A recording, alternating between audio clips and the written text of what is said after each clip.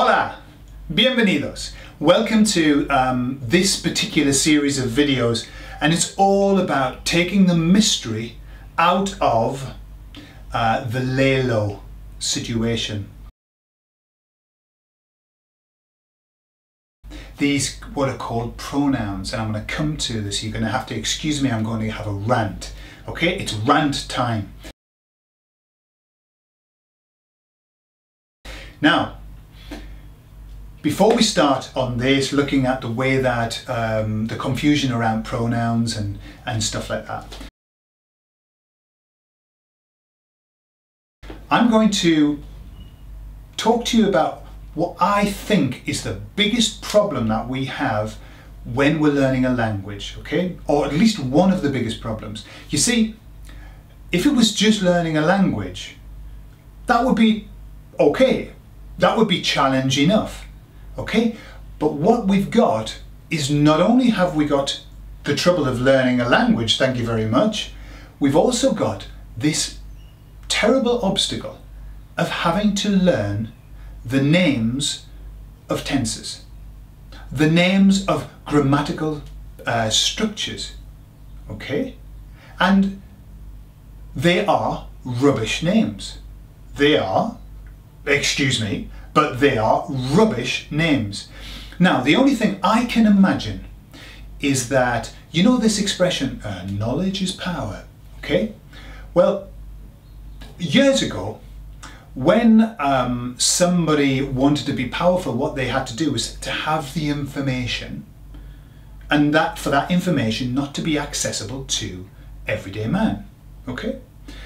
We still have the same situation because the people that invented the names for all of the tenses and these grammatical structures did not at any moment have learners in mind. They did not. What they wanted to do, this is just my feeling, I might be completely wrong, but they wanted to show how erudite they were, how very, very intelligent, and how they could invent names that bear no resemblance whatsoever to the grammatical structure that you're using. Now, for example, let's just, first of all, see now, now I'm getting myself worked up now. Do you know that in the UK, in Great Britain, and I think the same reflects in, in the USA, the same uh, situation. Do you know that 80% of the population cannot identify the difference between a verb, a noun and an adjective? Okay? 80%. So if you're in that group, if, if they're a little bit blurry, um, uh, you know, uh, a verb is a doing word, okay? If you're not sure, then it's okay because you're with 80%. Now, it's a sad indictment on our education system that that's the case, but that's another video. Okay. So, if that's the case, that we're not even sure about a verb, noun, and an adjective, what on earth are we going to do with stuff like the present perfect, preterite, okay, the um, pluperfect, subjunctive, okay? So what on earth were they thinking about? Let's just take an example. Present perfect. Now, let's say you said to yourself, all right, the present perfect, let's see if we can work this out logically, what it is. Well, it's present so it must be a present tense. Wrong! It's not a present tense, it's a past tense. Okay? Up to the present moment, but it's a past tense.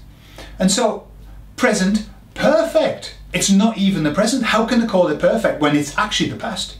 It should be the imperfect present because it's not present. Okay? What about this one? The preterite. The preterite pretérito in Spanish. Okay? How on in Dickens could you identify what tense that was? You couldn't.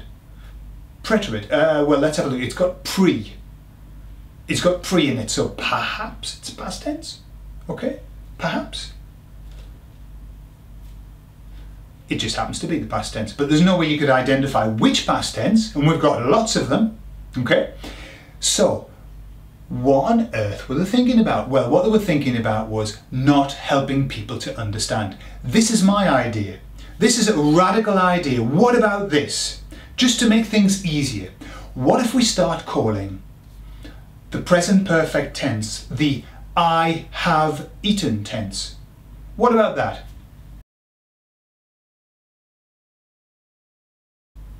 Everybody would understand it, wouldn't they? Everybody would understand it. Um, what tense is that one? That's the I have eaten tense. Oh, I see. So like, I have eaten, I have done. Oh, yes, I understand that. Yeah? What if we called the preterite tense the I ate tense? The I ate.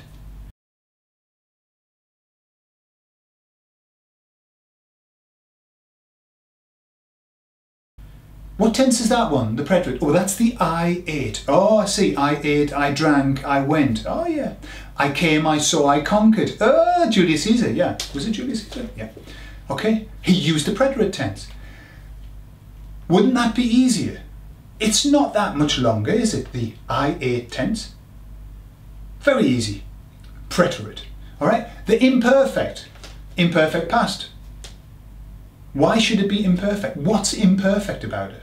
What is imperfect about it? I actually say, well, it's imperfect because you can't measure it. But it's, that still doesn't lead you to the tense. Would it not be better to call it the um, the wasing, wearing, used to tense? It's a bit long. Grant you. I grant, mm, you know, mm, I accept that. But hey, if that helps you learn it, oh, oh, that's the wasing. Oh, I was talking. Yeah, we were walking. I used to live. Yeah, all of that in one tense. Oh, excellent, that's handy.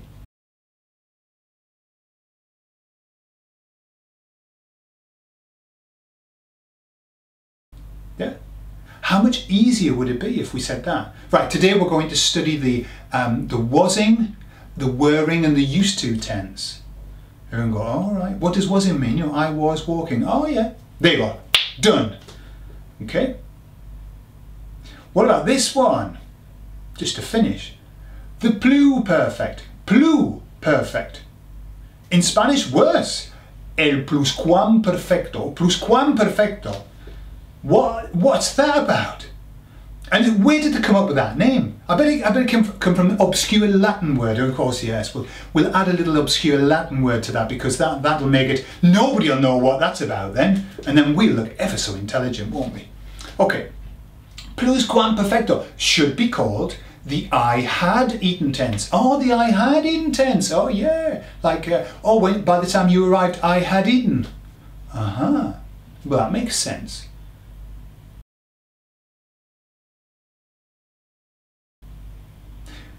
So, radical? I don't think so. I think it just makes common sense. Okay, so let's get your verb books out, okay? Open the page where it's got all of these tenses and start writing down the name of the real tense. This is the, the present, I eat tense. This is a present, I eat tense. This is a preterite, I ate tense. Just start learning them in the way that helps you. Okay? I've told you this story before, but I had a man who couldn't cope with the names. He had a slight dyslexia and he would get really panicky when when he was faced with preterite and imperfect. So he used to call them name, women's names. That was he had a Dorothy tense, he had a Betty tense. Excellent. But he was so much calmer and he understood what that was. So this is what we need to do. We need to start. There's an expression, KISS. Use the KISS uh, system, which is keep it simple, stupid. Okay, just keep it simple. We oh, everyone wants to overcomplicate things, and I'm here to not overcomplicate things or try and make them as simple as I possibly can. Okay, so that's my rant over. Now, so I'm going to give you the names of the two lists that we're going to deal with, okay? Which is the indirect object pronouns and the direct object pronouns, okay? So, they are, the indirect object pronouns are to me, to you, to him, to her, to us, to you all, to them. So, this list is going to be called the furniture removers list because that's what you hear furniture removers doing to me, to me, to me, to you, to you, to you, to him, to him. Yeah. So furniture removers list, when you hear that, you'll know. When I say furniture removers list, you'll know I'm talking about me te le nos os les. Me te le nos os les, okay? The other list is this one, is the direct. All right, you see them in the books, IOP and DOP. IOP and DOP, that helps me a lot. As soon as I get into acronyms, that's it, I'm lost. IOP and DOP. So direct object pronouns. So these are me te lo la, nos os los las. Okay? Me te lo la, nos os los las. They are going to be called the shoot at list. The shoot at you list, we'll call them that. The shoot at you list. Why? Because in those sentences, that's what you tend to hear. At me. He looks at me. He shoots at me. Okay? Oh, we might call it the shoot at me list. All right? Because it's at me, at you, at him, or him. You, me, him, her, us, or at you, at me, at him, at us, at you all, at them. All right, so it's the shoot at me list. Boom. That's what, what I want to do when I read the, the names of the um, uh, of the tenses. And so we've got the furniture removers list, and we've got the shoot at me list. Right? That's what we're going to call them during this series, so that you understand. Bear in mind that they do have a name, which is indirect object pronouns, furniture removers list. Direct object pronouns, shoot at me list. Okay? Is that fair? Right. Now, follow me on and we're going to start working through these and demystifying these pronouns once and for all. Pues hasta luego, chicos.